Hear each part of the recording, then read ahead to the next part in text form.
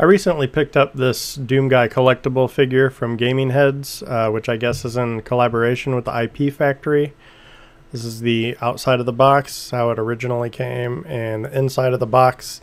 It stands about um, 9 inches tall and requires two AAA batteries, which are not included. I do kind of wish that there was a decorative background insert inside the box, but I guess that's not that big of a deal. Um, anyway, Gaming Heads is primarily known for making statues and for being priced on the higher end, but this is their first articulated action figure and by far one of their more affordable items. It's only $39.99 for this figure. And uh, I did pick up an extra one, which will be added as a reward to the, my website soon. So if you'd like a chance to get it, you can start contributing and save up your credits now. Of course, there are plenty of other rewards to choose from as well. Uh, but this is a 360. It's a pretty simple paint job, not a lot to it. But the, the legs spin 360 degrees. The arms also spin 360 degrees if you move his head out of the way. And then he's got uh, some forearm articulation and the hand moves around as well. And then his head turns from left to right.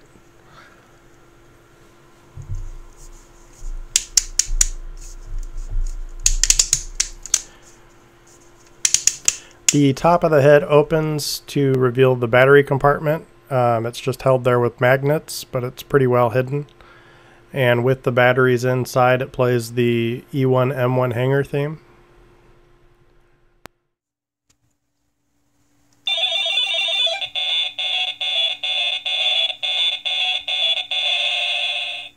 So for those who don't know, this product is based on the collectible figures from the 2016 game. Doom, in which there are uh, 26 different figures in total, I believe, that are hidden throughout each level to find and collect.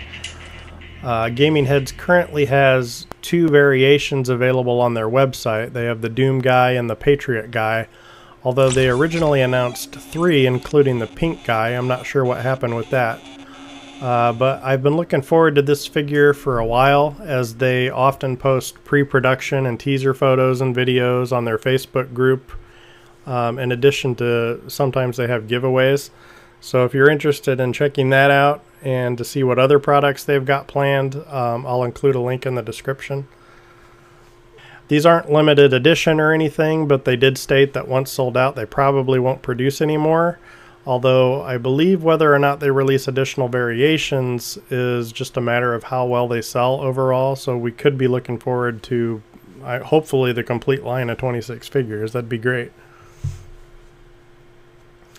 Anyway, I really love the figure. It's a great addition to my Doom collection, and that's all I got. Thanks for watching.